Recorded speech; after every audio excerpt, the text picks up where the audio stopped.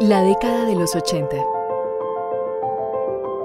La década de los 80 para los colombianos quedó marcada en la memoria como una de las décadas más violentas del país.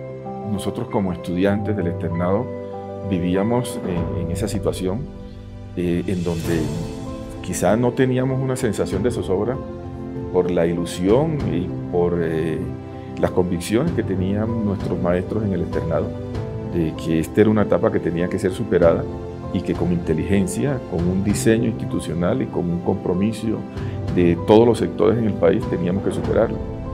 La centenaria constitución de 1886 le quedaba cada vez más estrecha al país. Sin embargo, el profesor Restrepo, por esa misma razón, creía que en Colombia era necesario contar con una corte constitucional, una carta nueva, la creación de un tribunal constitucional y un abanico muy amplio de derechos fundamentales para Colombia. Ese espíritu externadista, auspiciado por Fernando Inestrosa y Carlos Restrepo Piedraíta, llegó por fin hasta la Asamblea Nacional Constituyente.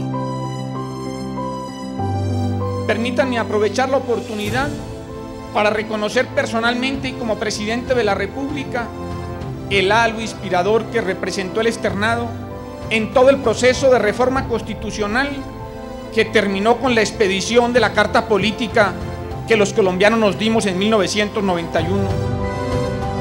La gran conquista de la Constitución del 91 eh, fue que la ciudadanía entendiera que eso no era un concepto vacío, sino que tenía un contenido y una posibilidad de ejercicio real. A lo largo de estos 30 años se han interpuesto más de 10 millones de demandas de tutela.